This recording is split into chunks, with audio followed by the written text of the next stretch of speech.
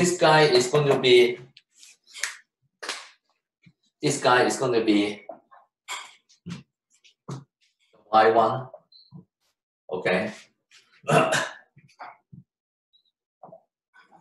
okay, I'm not going to write it. It's difficult to write it in symbol. So this, this, this guy here, can you see that these guys are actually e1 square plus e2 square plus, uh, in this case, e3 square and e4 square. So this is four forms only. So this distance is e1, this is e1, e2, e3, and e4. Okay. So the error term in in uh, in our particular case, in our particular case, let's compute the error then. Okay. So let's compute the error term in this case. Um, the error term is going to be um, y minus this. So for us, for us will be y is what? y is one, two, three, three minus. So this is the error. Okay, one, two, three, three minus x. Two, five, seven, eight times, okay, times this ugly. Okay, so that is the error term. That is the error vector. Okay, and then the magnitude of this error vector is going to give you the actual, the sum of, the sum of the, the square root of the sum of square of those error terms. Is, is it okay? I'm not going to compute this. Okay. But this is essentially what's happening. So this will be the error term or the error vector. It's called the error vector. This one.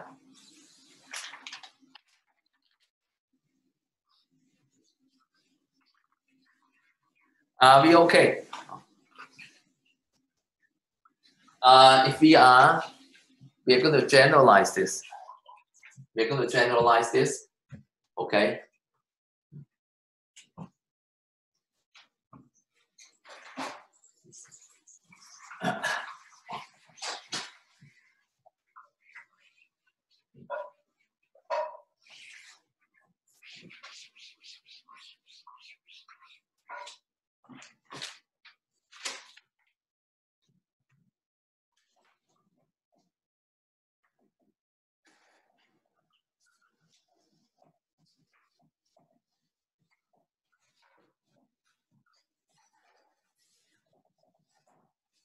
So this time we are trying to fit a quadratic, not just fitting a line. So you, you are given a bunch of stuff. Okay. Maybe something like this. You are trying to get the best quadratic through it.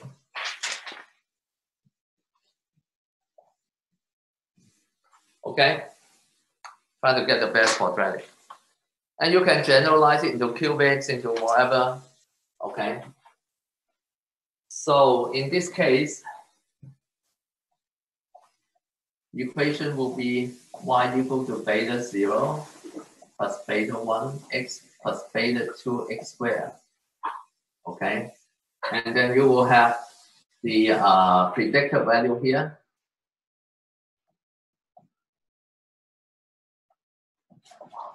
The observed value here. So now you have a you have these points, right? You have this point x1, x x1, y1, and all the way to x and yn. These are from your observation, and then you try to fit this curve. So over here is beta zero plus beta one x1 plus beta two x1 square all the way down, and then here will be y1 and then will be beta 0 plus beta 1. xn, beta 2, xn square. This one will be yn. Write this in matrix form. You have a bunch of ones here. A bunch of ones. And the next one is going to be x1, x2, xn. What is this third column? This third column will be, this column will be x1 squared. x1 squared, x2 squared, xn squared. And then you have beta 0, beta 1, beta 2. And then here equal to 2 yn. Okay? So this one is x. This one is beta. And this one is y. And you can go through the same thing. Okay? So you try to solve x beta equal to y. Of course, the solution is inconsistent. You seldom have everything measured exactly on the quadratic, even though if the relationship is quadratic, there will be measurement errors. And then so you do the normal equation, the normal equation, which is x transpose x beta and equal to x transpose y. Okay, and then you solve this for beta n. And that will give you the best fit. Put it back here. Is it okay? Of course, you can do cubic. You can do cubic. You can do polynomial of some degree, any degree, right? So it's very powerful.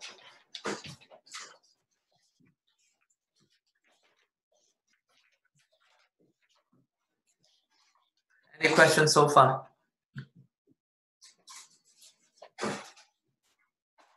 Now, you can even do the following. Uh,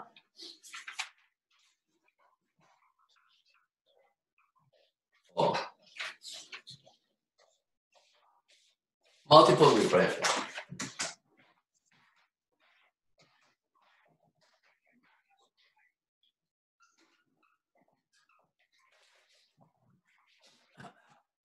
Now, multiple regression is going to look like this.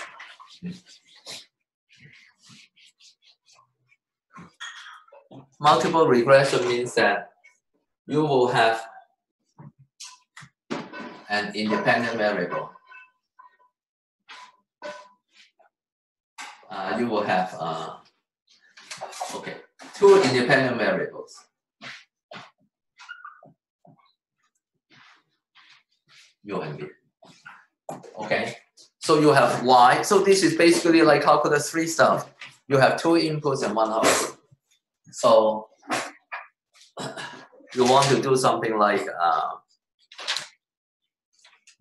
so your model, your model is um, this thing called,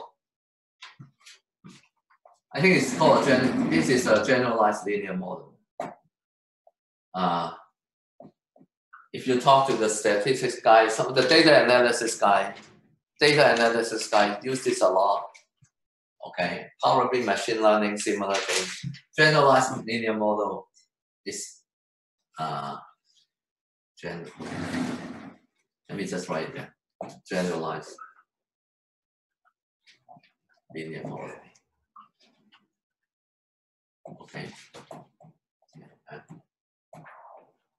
So you just assume that your y is equal to beta 0 plus beta 1 u plus beta 2 v squared. Uh, sorry, v.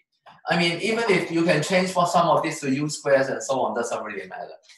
Okay, it doesn't matter. It still can be, I mean, if you want to be, this depends on instead of u, you have u squared too, then you just have more terms. Okay, so in this case, your your uh, predicted value, predicted value Okay. Now you are going to have this. You're going to have a bunch of stuff which is U1, U2, Y, uh, sorry, U1, V1, Y1, uh, U2, V2, Y2. So these are your measurements, right? These are these are the observations. These are the observations. Okay, so predicted value and observed value for the output. Okay, so these guys are going to be y1, y2, yn. So this guy will be beta 0 plus beta 1, uh, u1 plus beta 2, v1. You got my idea. So this one is beta 0 plus beta 1 un beta 2 vn. So your matrix equation is going to be, your matrix equation is going to look like this. A bunch of ones. And then this one will be u1, u2, un, v1, v2, vn. Multiply this whole thing by beta 0, beta 1, beta 2 equal to y1, y2. Is it okay? I mean, in the homework, there will be some examples where you need to actually plug in actual numbers. But the general theory is the same. And it's very powerful. It's really powerful. Okay.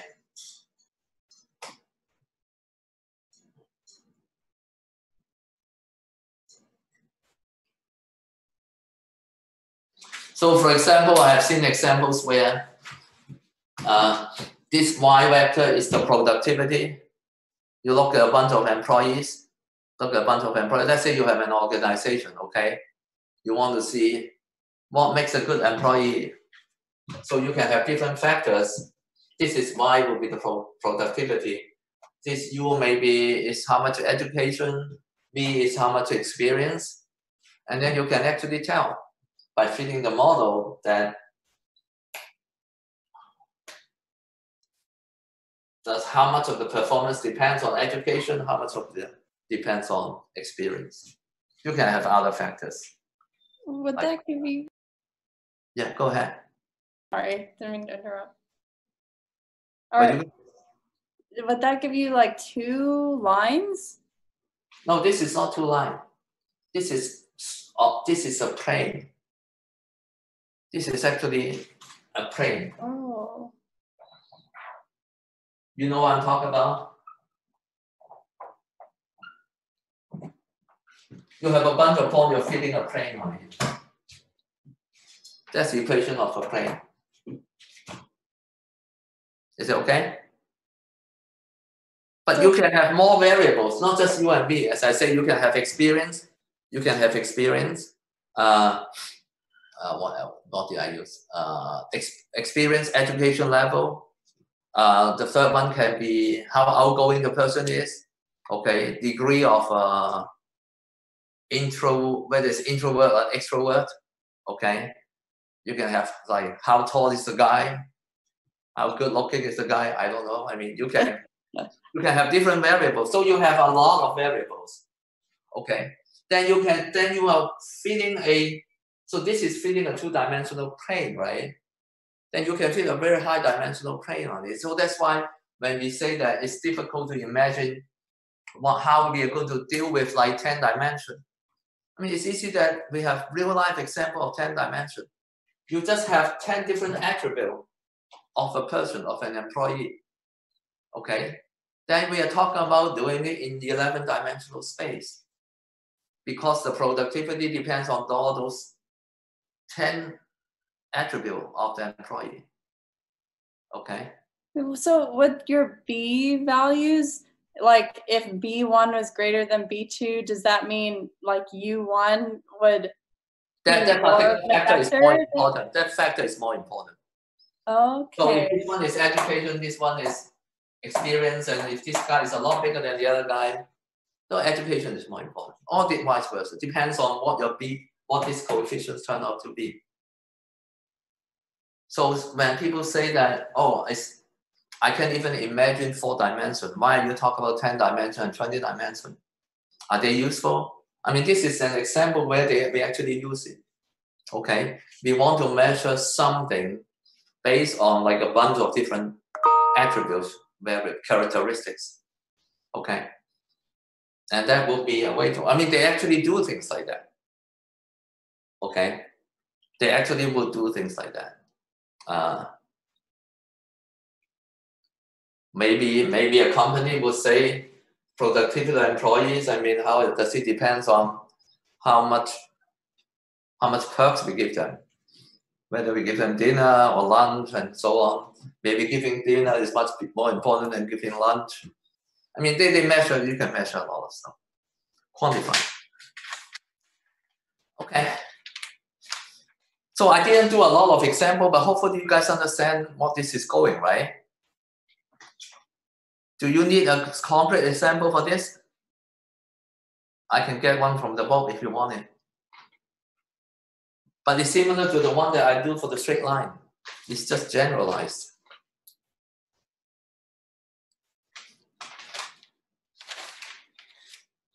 Okay, I'm gonna go to chapter seven.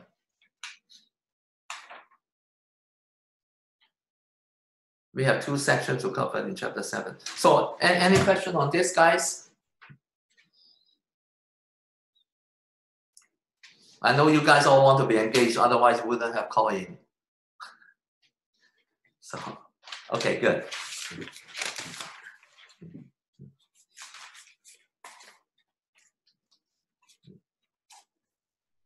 Okay, so we are doing chapter seven.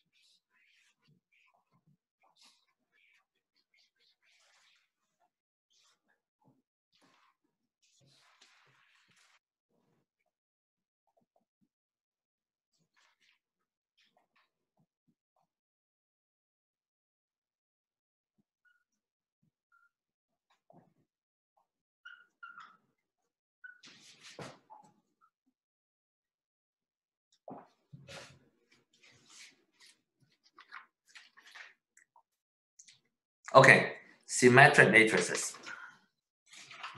Uh, you guys understand what I mean, right? Uh, A is symmetric. Means, uh, okay, A is uh, has to be an n by square matrix. Okay, uh, n by n matrix. A symmetric means uh, a transpose is the same as A. All right. You guys understand what is symmetric? Is this is this symmetric? Is this guy symmetric? One, two, three, four. No, that's good. It's not symmetric. Not symmetric.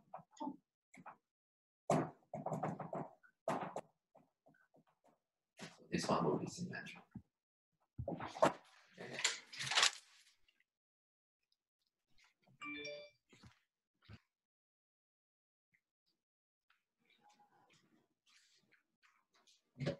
Okay, so here's a theorem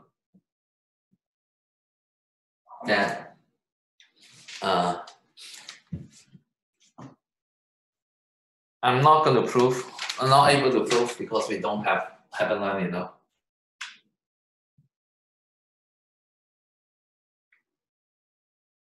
Uh, okay. Okay, I, am gonna do a I'm to do gonna do an easier theorem first. I'm gonna do an easier theorem, and this one we can actually prove. Okay.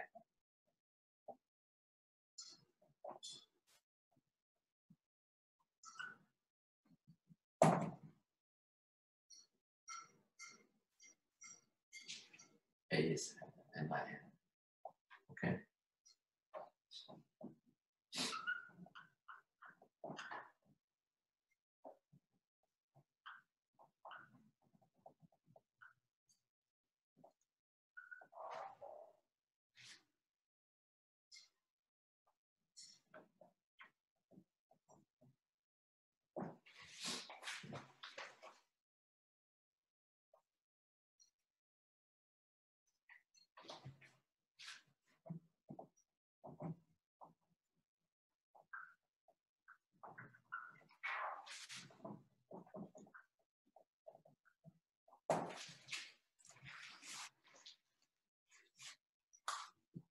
Uh, do you guys remember eigenspaces? Hopefully you remember eigenspaces. Eigenspaces are the, consist of the eigenvectors, okay, for a certain eigenvalue, okay, for certain eigenvalue. So let's say lambda equal to 1, 2, 2. So this one will be, you have E1 and E2. Okay, so this E1 is correspond to the eigenspace of 1, E2 is for the eigenspace of 2. You guys remember something like this? I'll, I'll make it more general. Then you have E, uh, E5 corresponding to the eigens. So this guy, you remember the dimension? This guy, the dimension is going to be 1. Okay, this dimension of E, the dimension of E1 is 1. Dimension of E2 is going to be less than or equal to 2, right? Dimension of E5 is less than equal to 3. You remember that? Because the algebraic multiplicity, algebraic multiplicity is equal to 1. Okay, and this guy is equal to 2, and this guy is equal to 3. Is it okay? We also have the result that the geometric multiplicity is always less than or equal to algebraic multiplicity. You, you, you probably remember that. We have problems like this in the first test. Okay. So we are saying that as long as they belong to different eigenspace, that means with different eigenvalues then they are actually orthogonal, not just independent. Okay, we have results like that before. Eigenvectors corresponding to different eigenvalues are going to be linearly independent. But for symmetric matrix, it's even nicer. For symmetric matrix, it's even nicer than that. So we actually know that they are orthogonal. Okay, so uh, I actually we can prove it if you want, but maybe you guys can tell me that is it okay for me to skip the proof and keep going? Or you want to see the proof? It's not too long, the proof. It's up to you. Can we see the proof? Okay, so you see the proof.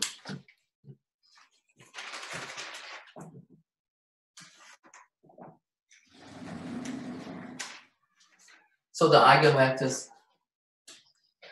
so the eigen two the two different these two different eigenvectors. These two eigenvectors, we're going to call them V1 and V2. Okay. Now I need to what do I need to show? I need to show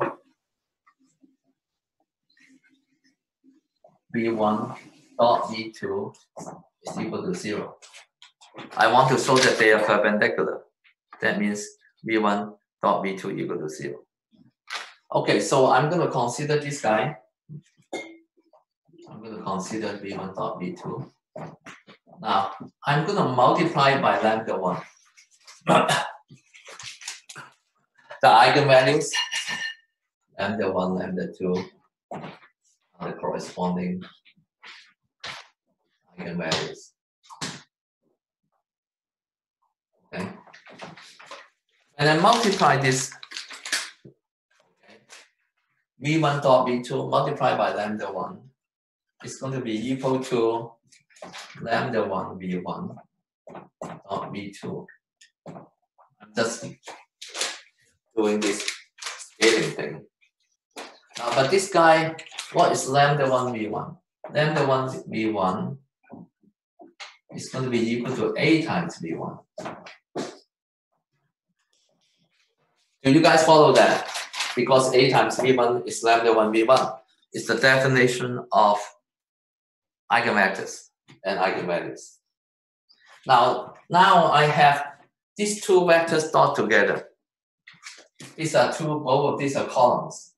I have two columns dotted together. I can actually rewrite this as a matrix multiplication. the matrix multiplication will be this guy. You need to transpose this to turn this column into a row. Okay, so this step is turning the column into a row. And then you multiply by. Now there's no dot anymore because it's like a row vector as a matrix multiplied by a column vector. And then this guy is going to be uh, AB transpose is equal to B transpose A transpose. It's a property of matrix, so I'm going to swap this.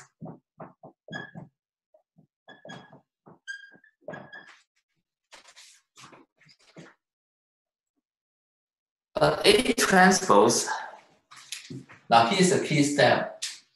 Because A is symmetric, A transpose is exactly the same as A.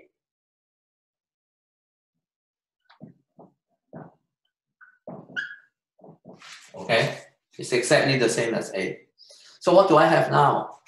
I have V1 transpose A V2, A times V2, the matrix times V2 is lambda 2 V2. Okay, so this lambda 2 is a constant now. Take it to the front, which is equal to lambda 2 V1 dot V2. Okay. So what do we have? This thing equal to that thing. So what I have succeeded to show is that lambda 1 v1 dot v2 is equal to lambda 2 v1 dot v2. So you put this to the other side, lambda 1 minus lambda 2 times v1 dot v2 is equal to 0. And because these two are not the same, this one is not 0. This one is not 0. So you can divide by that. Okay, something not 0 multiplied by this equal to 0. So v1 dot v2 is equal to 0. Okay, this means that the two vectors are perpendicular. Okay, so that's the proof. The main thing is that at this step, at this step, we use this A transpose and the say A transpose equal to A. So here is where we use this fact that A is symmetric. Allow us to play with this game. Okay. And end up swapping the lambda one with the become the lambda two. And lambda one, lambda two, not the same. So we can do the divide at the end. So the proof is a little bit, it just pretty straightforward. It's a lot of writing, but the idea is just move these terms around, make use the property of eigenvalue and eigenvectors. And the fact that A transpose equal to A.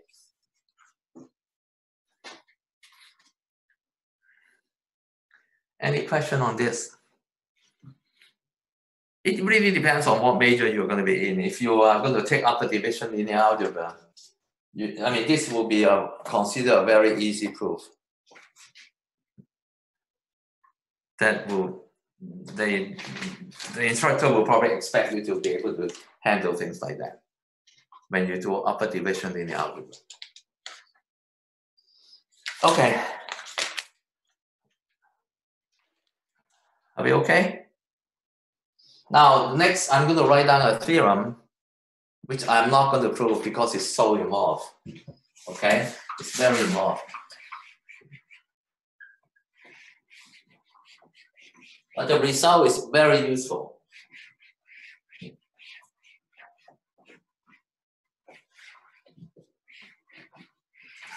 It basically highlights to you why symmetric matrices are so important. Okay? And a lot of matrices in the applications are symmetric because you remember last section, we start out with this, right? We start out with this. And then when we do the normal equation, we get this. We get this. And this guy is symmetric. X transpose X is symmetric. And this happens a lot, okay, in application of linear algebra, okay. Um, you end up with symmetric matrix pretty often. And they have really nice property. Okay, which is this one.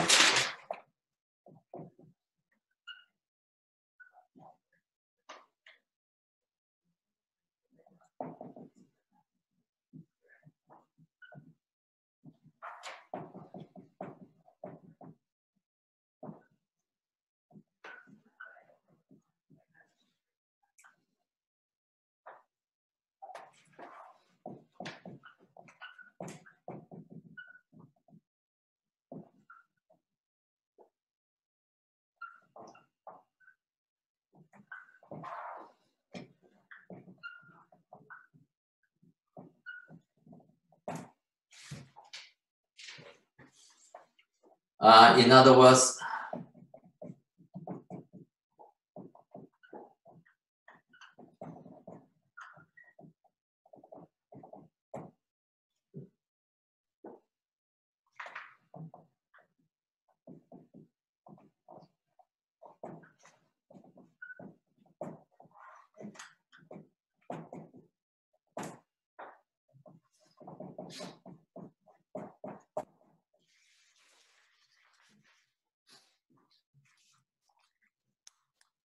Uh, I need to make comments about this.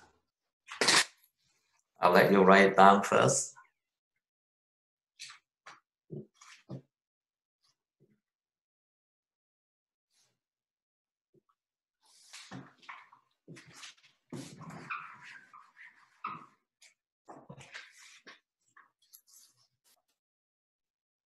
Now you remember diagonali diagonalizable, right? Means that you have a matrix P, D, P inverse equal to the original matrix A.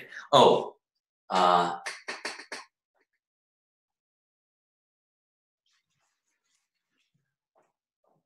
and diagonal matrix. Matrix D, okay. D is diagonal matrix. Now, that's diagonalizable. But this is saying something stronger. Usually, uh, usually this say, instead of saying orthogonal matrix, it say invertible matrix, right? But actually you have an orthogonal matrix, okay? Not just an invertible matrix. Orthogonal matrix has some good property. Orthogonal matrix, uh, so this P, uh, because of this orthogonal, okay? Orthogonal means that uh, P has a bunch of vectors, a bunch of these vectors. Each of these vectors, all these vectors, they're perpendicular to each other.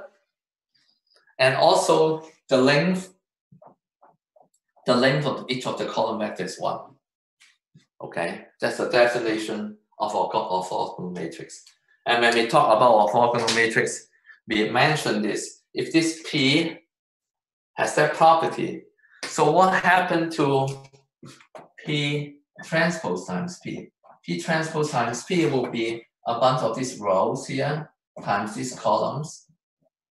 But these columns are, each pair of columns are orthogonal.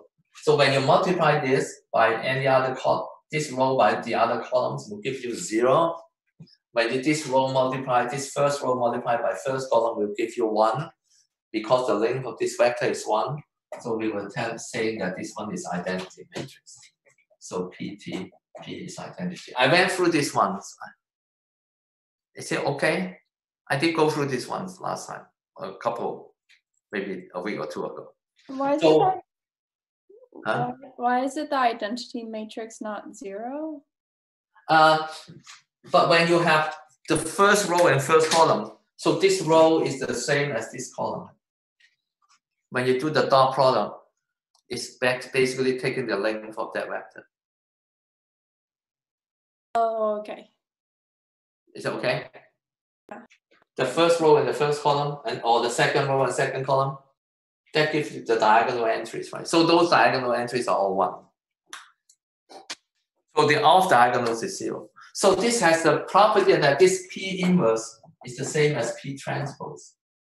Okay. Orthogonal matrix has this property. P transpose is P inverse. So here, instead of saying A equal to PD in P inverse, another way to say that is A is equal to PD P transpose. You don't have there's no work need to be done in computing the inverse, just transpose it become the inverse.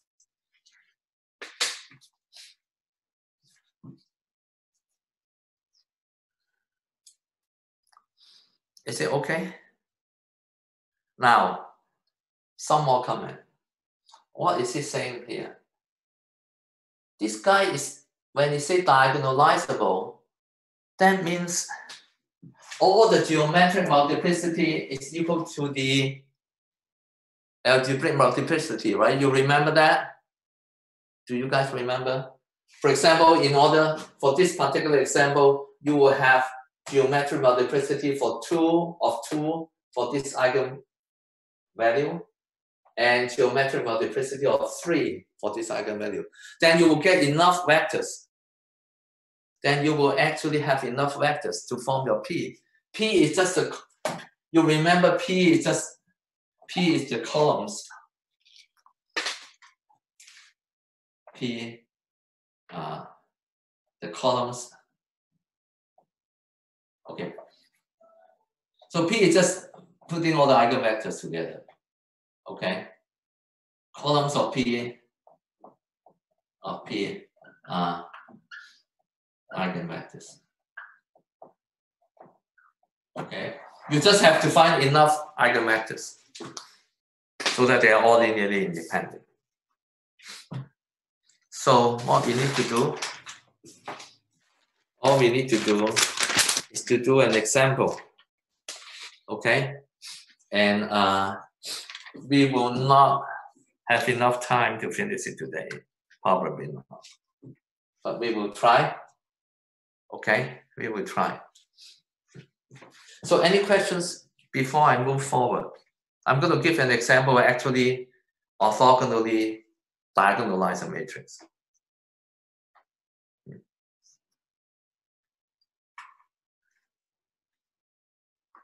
Okay. That theorem is very powerful. It's very strong. It says it says symmetric matrix are so nice.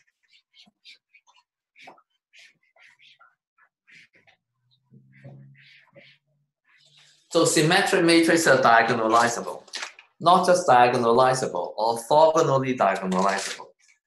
That means that matrix P